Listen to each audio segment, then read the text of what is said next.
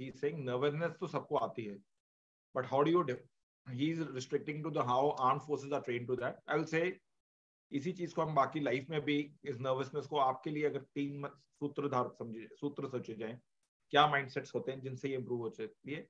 तो what are your takes how to overcome the nervousness see nervousness is a sub function of fear fear और डर if anyone says he doesn't get afraid or उसको डर नहीं लगता he is lying डर सबको लगता है that's a basic human factor but in army we are trained and because of the experience which i talked about in the initial stages the how to overcome and how soon you overcome that fear i remember in manipur uh, i was with a small team of 10 boys and we came under very heavy fire of uh, automatic weapons at a very close range and the dog walking in front of me, the post dog, the dog got a bullet. We dashed and took cover and regathered our thoughts. Now, those two seconds, five seconds, 10 seconds will decide when you regather your composure and you start thinking rationally again. This stretch of time, how fast you overcome the fear and regain your composure would decide the life and death of yours and your team.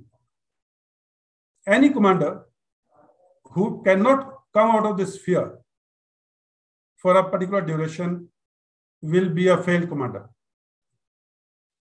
So it depends on that commander's experience, his battle hardiness, as to how fast he can come out of that fear and take a rational decision and then start controlling the situation. Now, same example of the same uh, Manipur uh, encounter. Uh, we could see the terrorist firing on us, but we could not fire back because we had the AKs. Now, we wanted a weapon which could fire overhead.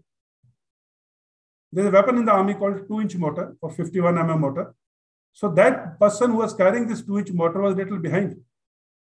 So, when I said, okay, 2 inch wale ko aage bhejo, Nayak Rishipal of 17 Raj Rif came running down. I given this example earlier in one of the talks. He came running down, dashed in front of me, and he had also overcome his fear in the shortest possible time. Under fire, he ran and came to me and he says, Sir, here is the weapon. And he also knew if I'll explain the target to him, I'll make noise and we will give away a position which will attract fire. He just told me, Sab, ye hai weapon, karo fire isko. So I fired that weapon and we could overcome the resistance which was imposed by terrorists. Uh, given this operation, it's a four days operation.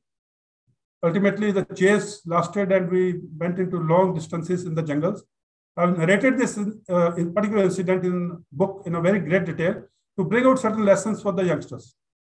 So fear or nervousness, as you call, is a basic human nature. It will happen. It should happen. If somebody says I'm a Rambo, it doesn't happen to me, he's lying. But fact is how fast you overcome this fear, how fast you regain yourself, how fast you take control of the situation, and how fast you execute your team's strength to overcome the opposition's uh, weakness. So that is how we are trained about it because we are put through such mental stress and physical stress in different courses, including the commando course, that the body starts to react positively to the most difficult of situations. And then, of course, as I said, the experience of combat over the decades teaches you or makes you from within a person better accustomed to overcome